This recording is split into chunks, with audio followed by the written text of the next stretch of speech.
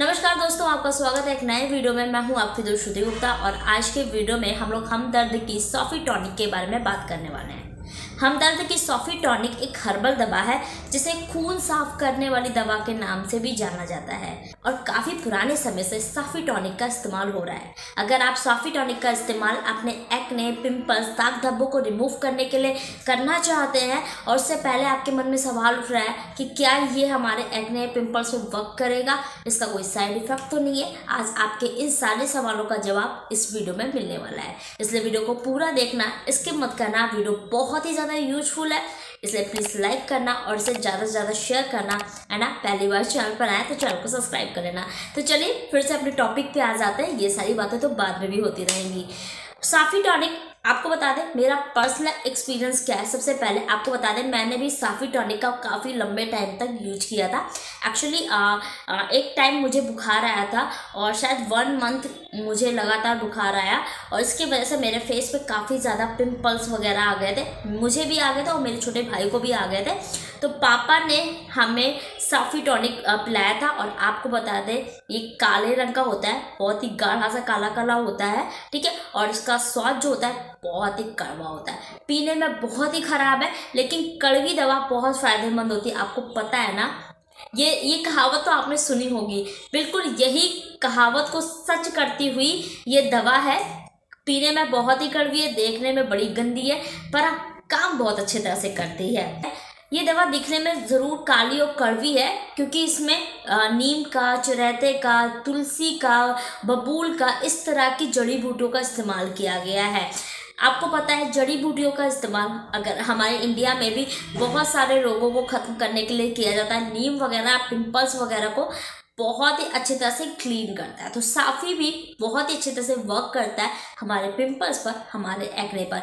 ये न, ये नहीं ज़रूरी है कि ये आपके खून को ही साफ़ करता है या आपके स्किन को ही क्लीन करता है पिंपल्स वगैरह को भी मतलब दूर करता है। इसके अलावा भी साफ़ी के एक नहीं बल्कि बहुत सारे फ़ायदे हैं। इतने फ़ायदे हैं कि इस वीडियो में शायद मैं पूरे कवर भी ना कर पाऊँ।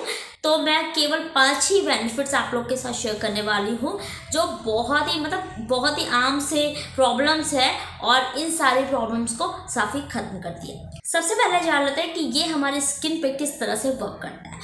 साफ़ी का इस्तेमाल सबसे ज़्यादा पिंपल्स एक्ने को ख़त्म करने के लिए किया जाता है, लेकिन आप झाइयों के लिए भी साफ़ी का इस्तेमाल कर सकते हो। इसके अलावा अगर आप अपनी स्किन में एक चमक पा, पाना चाहते हो, अपनी स्किन में एक मतलब जमा आप दिखना चाहते हो तो साफ़ी का इस्तेमाल कर सकते हो, क्योंकि इसमें जो जड़ी बूटियाँ इस्तेमाल की जाती है, नीम है, गुलाब है, तुलसी है, लाल चंदन है, ये सब हमारे स्किन के लिए बहुत ज़्यादा बेनिफिशियल है।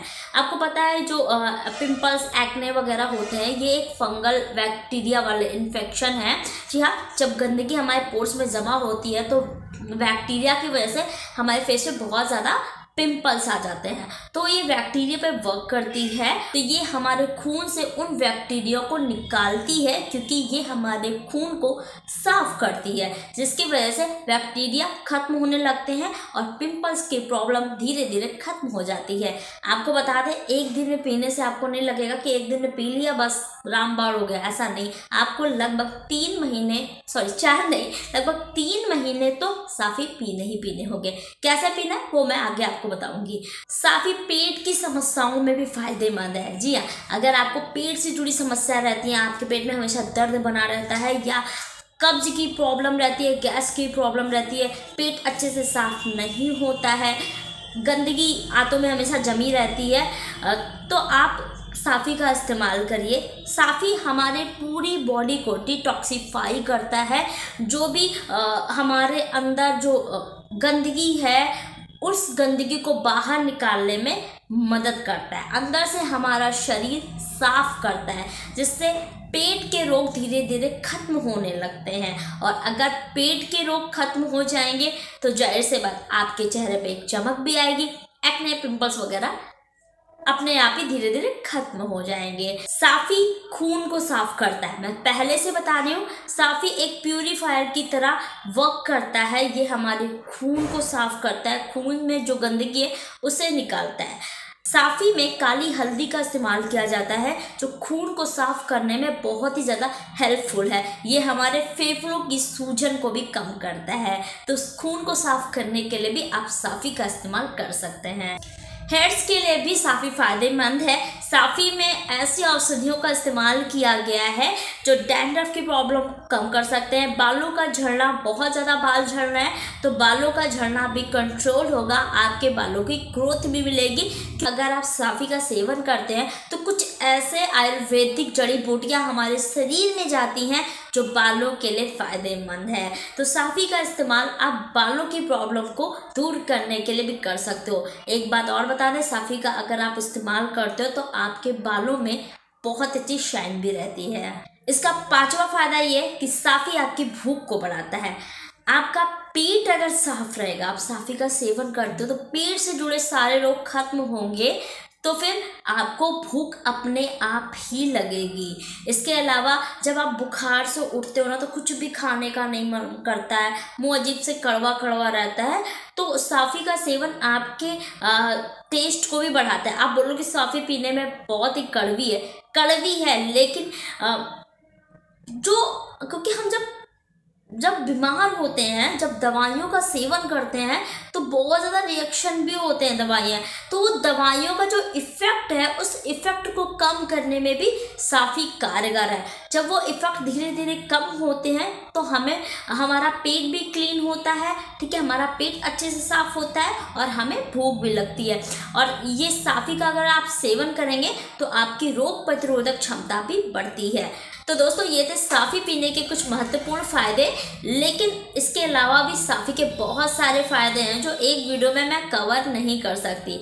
अगर आप साफ़ी के और फ़ायदे जानना चाहते हैं या आपके मन में कोई सवाल है तो कमेंट्स बॉक्स में ज़रूर पूछ लीजिएगा। मैं ज़रूर इसका रिप्लाई करूँगी। और अगर आप चाहते हैं कि मैं एक और वीडियो साफ़ी पे बनाऊँ तो कमेंट्स बॉक्स में ज़रूर बोलिएगा।